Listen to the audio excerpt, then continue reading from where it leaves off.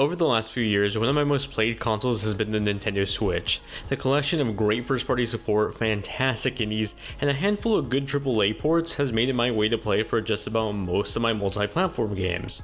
While I still enjoy playing on my PS5 and my Series X, they don't offer the same portability that my Switch does.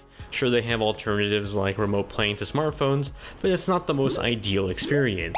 Luckily, the Backbone controller looks to solve that. The concept of playing with the controller on a mobile phone isn't new to me. I tried out xCloud on my Pixel 3a with an Xbox controller, and though it was nice, I prefer something that just feels more natively built. The Joy-Con on the Switch were tailor-made for it, and when I can use controllers on my phone, the clunky clip-on setup just doesn't feel as good as my Nintendo Switch. It's for all these reasons I usually skipped out on remote play once my Vita started to show its age, at least that was the case until I got my Backbone controller. This nifty little device is expensive, I'm not gonna lie, However, it is a pretty decent investment for those just looking to play mobile games. For me though, part of what kept me away from mobile games and remote play wasn't the fact that they weren't good, it was the lack of natively feeling controls. It's cool that I can play Halo, COD Mobile, and Spider-Man Miles Morales on my iPhone, but I don't want to if I have to use a controller clip or touchscreen controls. With that in mind, this $100 backbone controller was a heavy investment into that ecosystem, but I don't regret it. It has this extended grip design that slides in your iPhone into place, connecting via the lightning port and holding onto the sides of the phone.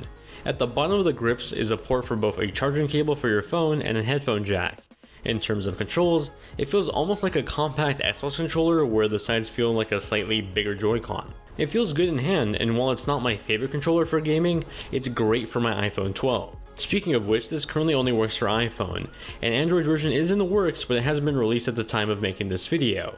However, if you have an iPhone ranging from an iPhone 6s and onward, you should be fine. Now the Backbone isn't the first grip-like controller for phones either. Razer made their own that's even cheaper, and I've tried it before, I just didn't really like the feeling of it all that much, but what it lacks the most is what brought me to spend that $100 on the Backbone, and that software. On this controller is a built-in capture button for screenshots and screen recordings, but also a backbone menu button.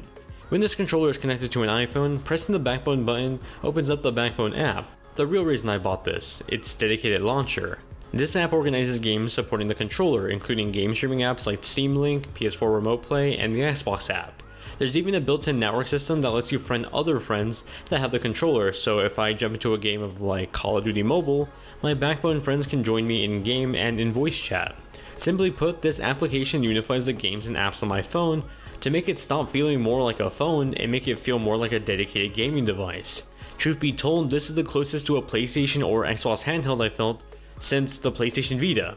May it rest in peace. But honestly, I love this controller. Expensive price tag aside, I now find myself gravitating to this for COD Mobile and some platforming games on my PS5 and Series X. Of course, I'm not going to be playing any competitive games where I don't want my rank to go down on this thing, but for something more casual, let's say God of War or maybe a quick Titanfall 2 match, I'll play it on my phone. There are some improvements I'd like to see though, at the moment there isn't a great way to break this thing down to make it more portable when it's not on your phone, and not all cases are supported with this thing already. The haptic feedback synchronization is great on mobile games, I just wish it worked on game streaming applications too, but that might be more on Sony and Microsoft than on the Backbone controller. Other than these little quirks, I kinda love this thing, which you know as someone with the PS5 and the Series X, you know, a dedicated machine, is kind of crazy to me, but I also think it shows how Sony and Microsoft could easily tap into the handheld market, well, at least if Sony actually tried this time.